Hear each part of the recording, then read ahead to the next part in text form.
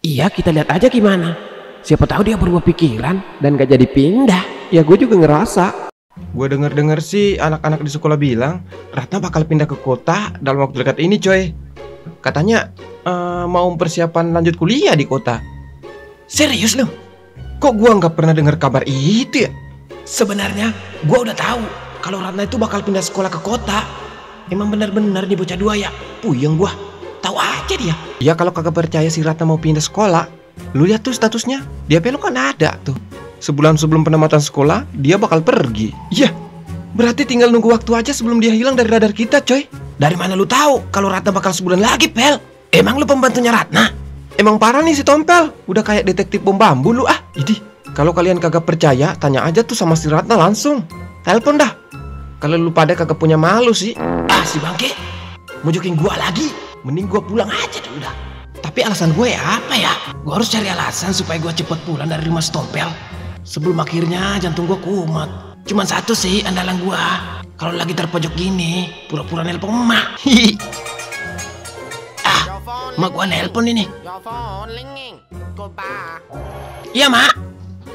Oh, siap, mak. Oh, siap, mak. Ini Koko juga baru pulang sekolah, mak. Dikarenakan ada pelajaran tambahan, jadinya Koko lambat pulang, mak, hari ini. Oke, mak, siap, siap. Assalamualaikum. Mak gua nih nelpon.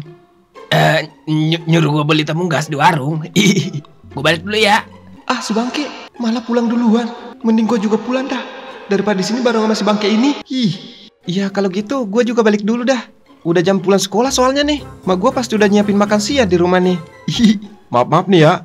Gue kagak nyiapin minum. Soalnya mak gue lagi ke pasar. Nggak usah, gua hari ini lagi puasa, Pel. Eh dah, si Tompel pelit banget dah. Air doang dipelitin. Gimana kalau dia mati ya? Gue mau oka mandiin dia. Ya udah, gua duluan dulu ya. Gua nggak boleh kalah. Koko sama Jack pasti nyiapin sesuatu nih. Hmm, gue udah tahu hari-hari penting buat Ratna. Ini saatnya buat gue lebih deket sama dia sebelum dia cabut ke kota. Hihi.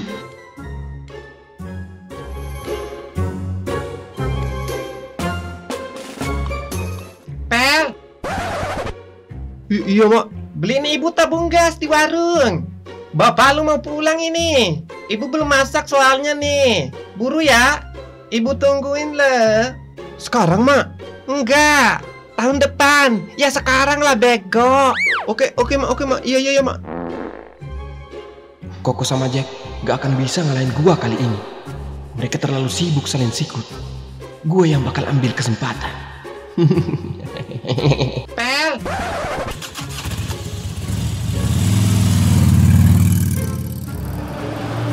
Kalau rencana ini berhasil mah, Ratna bakal jadi milik gua. Gua harus bergerak lebih cepat nih sebelum Koko dan Jack bikin langkah duluan.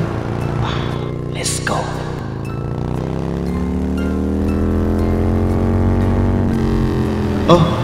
Si Bangke muncul. Emak ke mana lu, Pel? Rapi bener lu. Ah, disuruh emak beli tabung gas di warung, Bre. Lu berdua mau ke mana? Gua mau ke warung nongkrong sama si Koko. Pengen cari angin dulu, kali aja ada angin putingnya beliung. Oh, mantap itu mah. Oh, lanjutin dah. Lu mau ikut, Pel, ke warung? Gua traktir dah. Oh, lain kali aja ya. Soalnya gua lagi banyak kerjaan ini. Emak gua tuh minta dibantuin masak di rumah. Hihi. Widih, kayak lu udah kayak orang lagi naik daun tuh, Pel. Naik daun? Daun apa? Daun bapak kau. Ya udah, gua jalan duluan ya, Pel. Ntar kalau mau nyusul, telepon gua ya. Siap, Bre. Ya udah. Wah, mereka mau ke mana ya? Ah, gue ikutin aja dah.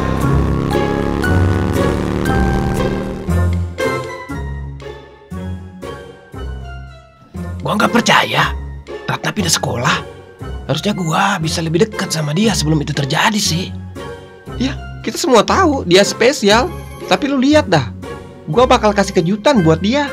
Lu bakal kalah kali ini kok. Setidaknya wajah gua lebih tampan dari kalian berdua sih. Wajah doang lu yang tampan, tapi kagak ada duit. Ya harus gue tegasin. Kalau cowok itu lebih suka sama duit daripada tampan lo itu, Jack. Lagian sekarang mah udah canggih, Jack. Kalau soal tampan doang sih, ya soal gampang itu mah. Yang penting kan ada ada duit.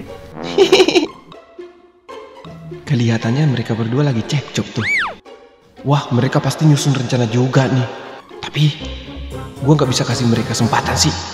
Gua harus buat gerakan cepat. Bujat dah. Lu kok ngomongnya kayak gitu sih kok? Ya lu duluan yang sok-sokan kegantengan Jack. Ya padahal lu nggak nyadar Jack. Kalau suara lu itu mirip sama ayang yang baru netas.